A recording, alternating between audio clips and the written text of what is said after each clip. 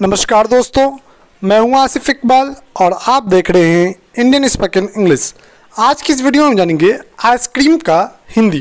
क्या आइसक्रीम को हिंदी में क्या कहते हैं? आइसक्रीम का हिंदी क्या होता है?